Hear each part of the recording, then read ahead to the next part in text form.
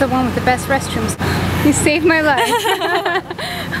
the rock to the park to the flatland, tip top, give me the lap dance. like hot. Hot as shit. Yeah, I want to get sober. Alright, let's just do it. that was a good time. It was a good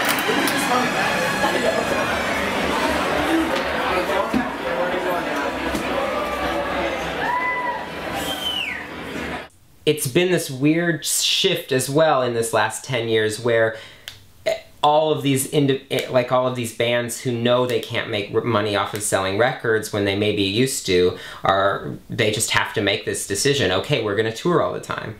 We're going to tour the US 3 times a year. And eh, and and that's going to be the way that we save this business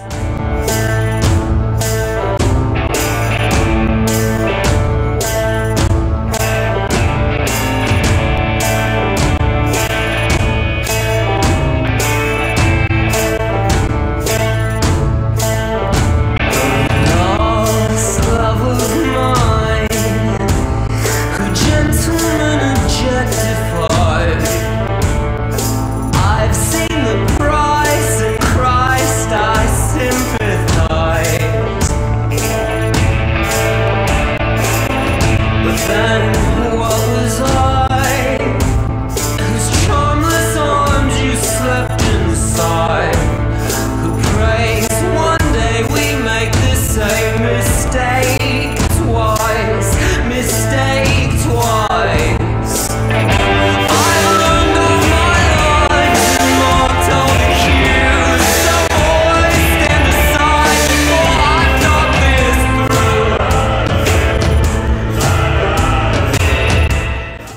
people are happy to pay you to watch you have confidence in yourself.